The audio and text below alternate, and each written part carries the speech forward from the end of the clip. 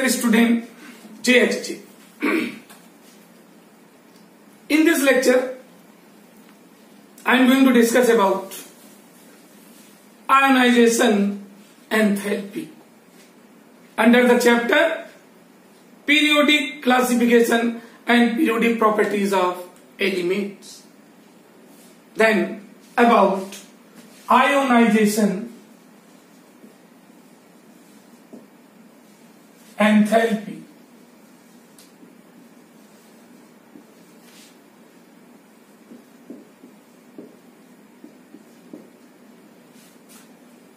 Ionization enthalpy. It is also known as ionization potential. In we can write it as ionization enthalpy. What is this? amount of energy which is required to withdraw one electron from the outermost shell of any isolated gaseous atom is called ionization enthalpy. The amount of energy which is required to withdraw one electron from the outermost shell of any isolated gaseous atom is called ionization enthalpy. Right? And you know, here is the particular word is used. Isolated atom. What do you mean by isolated atom? Isolated atom is that atom which is present in its natural form. Neither perform the transfer of electron nor in condition to form any bond. Such simple atom is said to be isolated atom. Right? It is also known as ionization potential. Clear? And now I want to discuss about first ionization enthalpy. as well as second ionization enthalpy. Means first IE. IE means ionization enthalpy. The amount of energy which is required to withdraw first electron from the outermost shell of any isolated gaseous atom is called first ionization enthalpy. Let A is considered as isolated atom Okay, therefore, to withdraw one electron from its outermost shell, after when it will lose one electron, it used to gain positive charge on account of one electron which is taken from its outermost shell that is present here. Then after losing one electron, it will convert into in this form. This is the A positive. Okay? Then the energy. This is the equation. And the energy which is required for this reaction is considered to be considered as ex calories. Calories or joule joule per mole, or simply we can say calories. Okay, to withdraw one electron from its outermost shell. Clear? And if we ignore this comma from here, then it is represented with negative sign. Why with negative sign? Because energy is supplied to withdraw one electron from its outermost shell. Because during the withdrawing of one electron, we have to work against the nuclear force. वो जो nuclear force लग रहा होता है उधर most shell और nucleus के बीच उसके अगेंस्ट वर्क करना पड़ता है then no doubt we have to supply the particular amount of energy okay like this tax calories. This used to convert into in this form. And, and this amount x calories, we ignore to this sign and comma here, then we have to write here minus x calories. Why minus sign is given there? Because energy used to supply here. Ultimately, Ex is considered to be the amount of energy that is, let us consider as Ex is known as first ionization enthalpy. And now about second ionization enthalpy. About second ionization enthalpy. The amount of energy which is required, listen, the amount of energy which is required to withdraw second electron from the outermost shell of related atom is related element is known as second ionization enthalpy. Means एक electron निकालने के बाद जब second electron को withdraw करते हैं outermost cell से तो उस समय जितनी एनर्जी सप्लाई करनी पड़ती है That amount of energy is considered to be that amount of energy is considered to be second ionization enthalpy. For example, for the same element as it is already present in this form and when one more electron is taken from it then will it used to gain plus 2 charge and plus electron and here also represented by y calorie. And what is the why? Why the particular amount of energy which is supplied to withdraw one electron from the outermost shell of This. Okay? Therefore, therefore, why is considered to be second ionization enthalpy? Clear?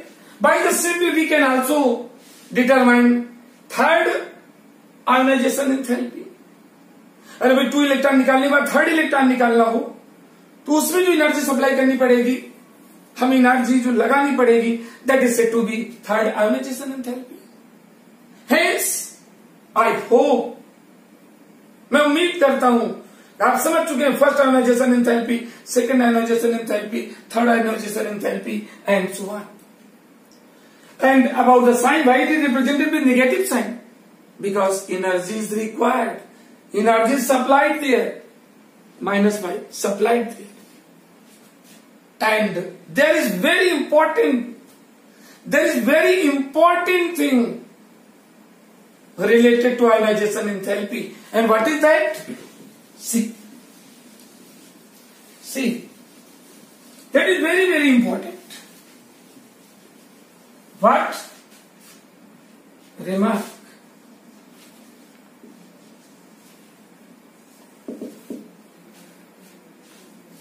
The second ionization enthalpy of any element is always greater than first ionization enthalpy of that element.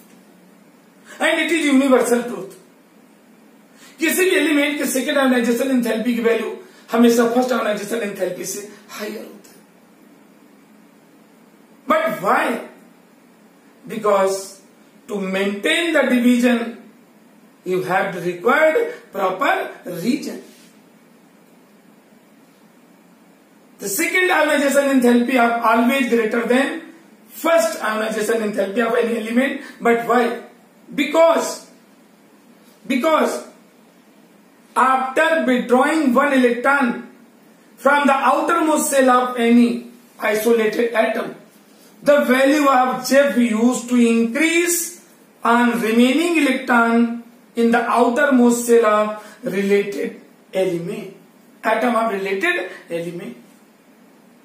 एक electron withdraw करने के बाद उस related element के outer most shell पे बचे इलेक्ट्रॉनों पर जेब की वैल्यू बढ़ जाती है जेब you know effective nuclear force use to increase okay that's why second enthalpy of related element is always greater than first and now you can ask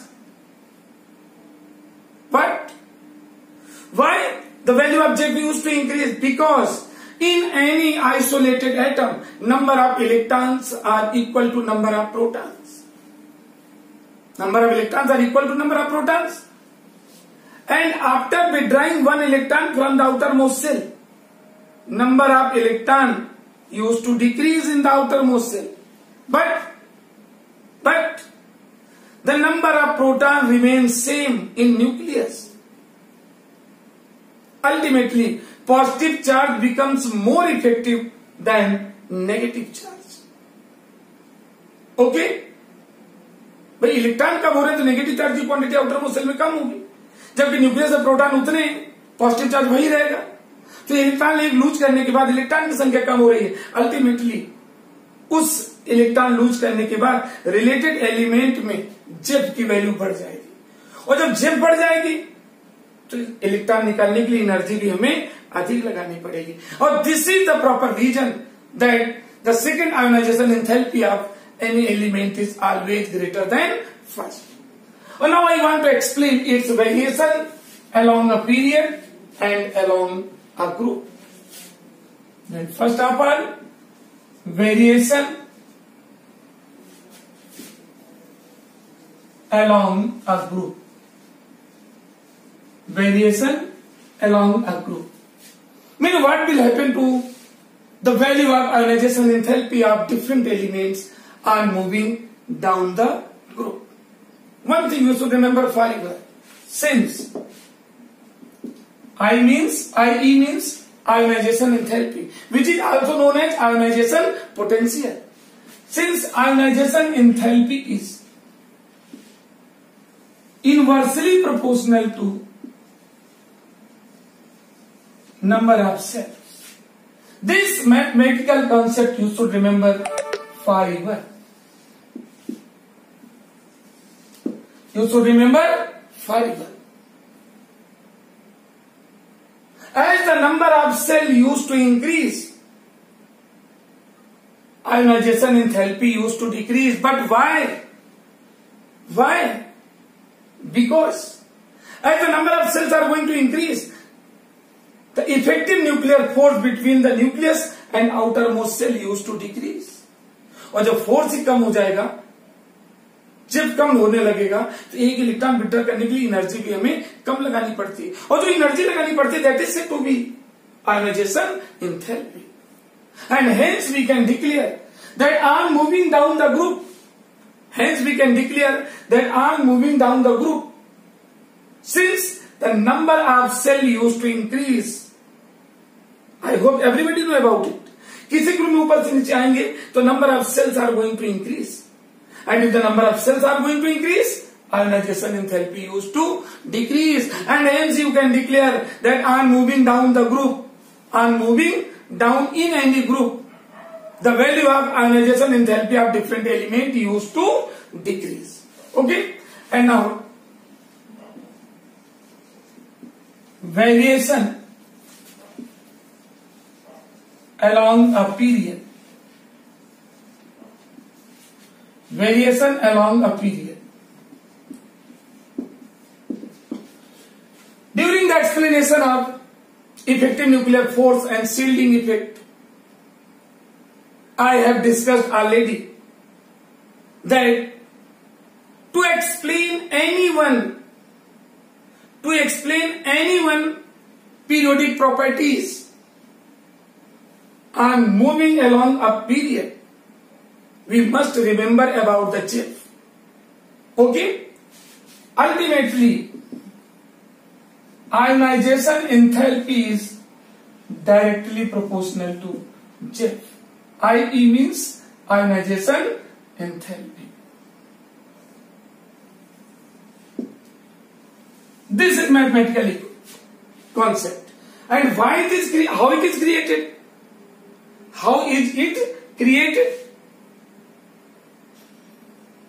you know कैसे पॉसिबल हुआ because if the value of J is higher, then we have to require more amount of energy to withdraw one electron from their outermost shell. And if we uh, supply more amount of energy, then amount of energy is said to be ionization enthalpy. Ultimately, we have to develop a relation ionization is LP directly proportional to J. And it is universal truth that ion moving left to right in any period, ion moving left to right in any one period, the value of J used to increase. And if the value of J is going to increase, ionization enthalpy will also increase और हमें prove करने की जरूरत नहीं है अब कि why the value of जेब is going to increase because I have discuss already in my previous video lecture. Right? Ultimately now we can declare not only first period, second up to seventh period. I am moving them to write in any period. Since the value of chip used to increase, then no doubt ionization enthalpy or ionization potential of related element will also increase from moving left to right in any period. Okay? And one Very interested crass question having the exception because you know well chemistry is the subject of exception. Chemistry is the subject of exception. One exceptional question related to this. One exceptional question which is related to the variation of ionization enthalpy along a period. You know, I will discuss about second period. do you know the element of second period lee wave canoe funny 3 4 5 6 7 8 9 10 this is the second period and according to the according to mathematical concept since ionization enthalpy is directly proportional to J as we have to discuss already Ionization enthalpy is directly proportional to Z, and the value of Z used to increase from left to right in this period. Ultimately, we can declare ionization enthalpy of beryllium is higher than lithium. IE of boron is higher than beryllium. By the same way, ionization enthalpy of nitrogen is higher than carbon. If we apply the same concept, then the ionization enthalpy of oxygen must be higher than nitrogen किंतु ऐसा हो न सका you know that is very interesting question the first ionization enthalpy of the first ionization enthalpy of nitrogen is greater than oxygen ये उल्टा हो गया भाई आगे बढ़ना चाहिए तो ऑक्सीजन भी ज्यादा होना चाहिए बट क्वेश्चन क्या है the first ionization enthalpy of nitrogen is greater than oxygen Why? You have to listen my question. It is very interesting question. Why? Question is no. Question is why does the first ionization enthalpy of nitrogen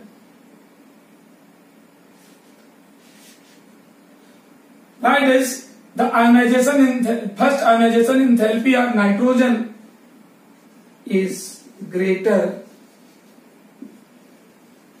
than oxygen. Means, or a simple statement, first ionization enthalpy of nitrogen is greater than oxygen. Why? ऐसा भी लिख सकते हैं reason हमें बताना है ionization enthalpy first ionization enthalpy of nitrogen is greater than oxygen ये तो एक्सेप्शन हो रहा है what is the reason see our about its explanation nitrogen you know atomic number seven to electronic combination one s two two s two and two p two two जर four three this is the outermost shell outermost सबसे two p p सबसे less three electron one two three and this is counted under half filled. This is a half filled state. And half filled state is considered to be more stable. Because you know well, to maintain the stability, electronic configuration मैंने discuss किया था To maintain the stability, the outermost subshell must be present either in half filled state or in full filled state. Okay reason you know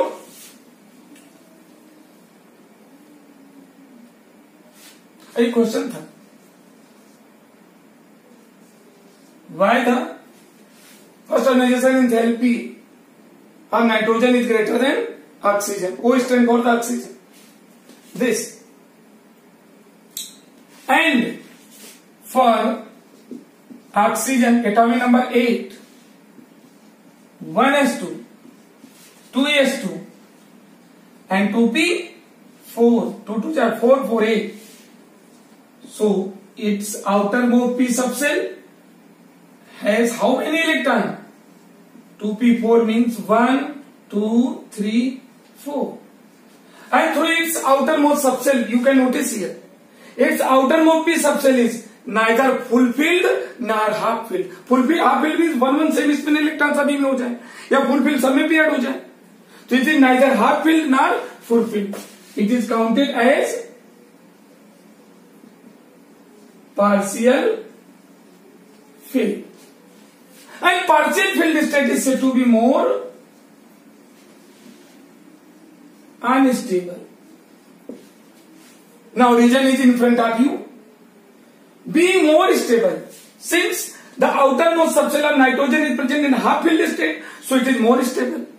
Ultimately, we have to required more amount of energy. It has required more amount of energy to withdraw one electron from its outermost p subset. इसके outer outermost p subset से एक electron निकालने के लिए अधिक energy लगानी पड़ेगी so its first ionization enthalpy must be higher and in case of oxygen ये पार्शियल फील्ड है ना तो हाफ फील्ड है ना सब में फुल फील्ड है and due to presence of the partial field state, it is counted under more unstable. And being more unstable, it is easy to withdraw one electron from its outermost shell. Means we can withdraw we can withdraw one electron from its outermost piece of shell by supplying small amount of energy.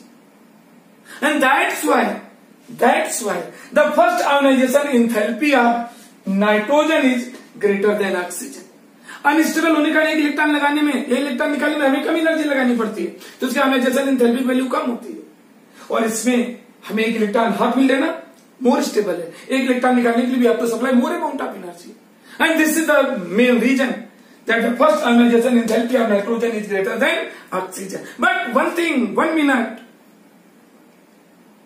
after after withdrawing one electron, from it and it means if we discuss about second ionization enthalpy about second ionization enthalpy can you tell me can you give response to me the second ionization enthalpy which has higher value which has higher value of second ionization enthalpy between nitrogen and oxygen and its answer is use to depend on your presence of mind यदि पहली चीज आपने ध्यान से समझा तो इसका answer आप अपने आप दे देंगे फर्स्ट ऑर्गेनाइजेशन इन थेरेपी के बाद यू नो इसकी पोजीशन क्या हो जाएगी यहां ये बचा रह जाएगा बिकॉज इलेक्ट्रॉन टू रह जाएंगे एक इलेक्ट्रॉन निकालने के बाद और एक इलेक्ट्रॉन विड्रॉ करने के बाद इसकी सिचुएशन क्या हो जाएगी दिस और यहां कितने रह जाएंगे ये पोजिशन कब आएगी जब एक इलेक्ट्रॉन इससे विड्रा कर लिया जाएगा यानी after first ionization if we discuss about the second ionization enthalpy then एक इलेक्ट्रॉन विड्रॉल करने के बाद इलेक्ट्रॉन निकालने के बाद अब ये क्या हो जाएगा nitrogen become outer most p सबसे nitrogen become partial filled been unstable हो जाएगी और एक इलेक्ट्रॉन लूज करने के बाद ऑक्सीजन का outermost p subset more stable हो जाएगा अब इससे इलेक्ट्रॉन विड्रॉ करने के लिए अधिक एनर्जी लगानी पड़ेगी कंपेरिजन टू द ऑक्सीजन और ये नाइट्रोजन और ये कब होगा after losing one electron means ऐसा भी क्वेश्चन पूछा जाता है विच है higher value of second ionization enthalpy between oxygen and nitrogen then you can declare that after losing one electron outermost p सबसे लाभ nitrogen becomes unstable and outermost p सबसे oxygen become more stable so The second ionization enthalpy of oxygen is greater than nitrogen. Clear?